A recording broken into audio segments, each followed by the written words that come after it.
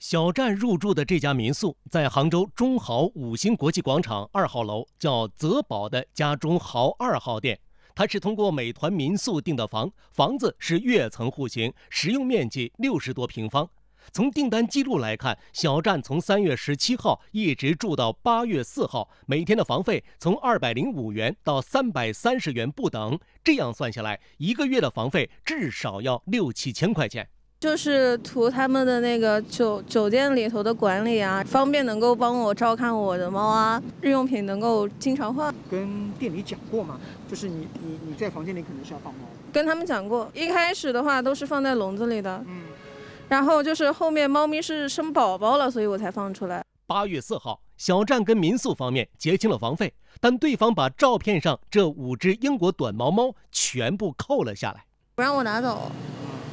他们的要求是什么？他们要求是要求我按照他们的价格赔偿完毕以后，才把东西归还给我。因为小站的猫抓坏了房间里的家具和陈设，按照民宿方面提供的照片，真皮沙发上有多处划痕和小破口，窗户的纱帘也有不少起球和破损的地方。民宿方面要求小站对这些损失全额赔偿，加起来要一万多块钱，但小站只愿意为沙发支付一两千块钱的赔偿。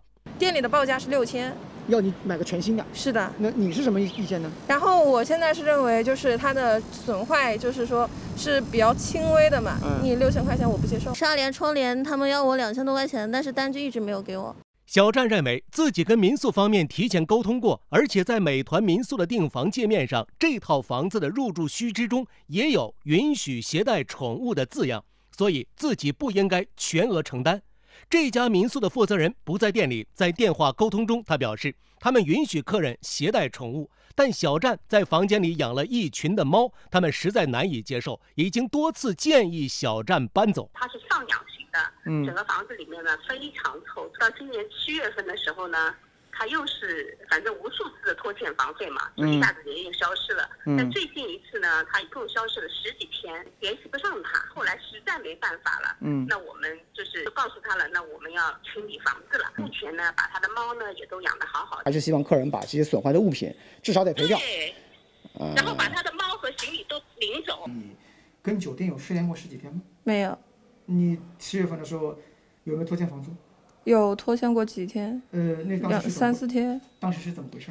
当时的话是我微信的支付，就是说出现了限制。民宿负责人告诉记者，房间里的多数家具和陈设都是在宜家上买的，价格都是可查的，并不存在虚报价格的问题。宜家上面都有明码标价的嘛，窗帘什么的，我们当时是找一个个体户，也在查单据啊。那么我们其实的意思就是说，你要来面对。他的意思就是说我给你们打个条，我说我们不敢相信你了。至于赔偿谈不拢，店家就扣了小站猫的行为。律师认为，店家无权这么做。扣留猫的行为是不合法的，嗯，因为这个猫是这个客人的财物，嗯，而且它是一个活物啊。如果客人欠你的钱，或者说给你造成损失，那么你可以通过起诉到法院，要求法院判决，然后要求这个客人来承担这个赔偿责任。幺八黄建记者报道。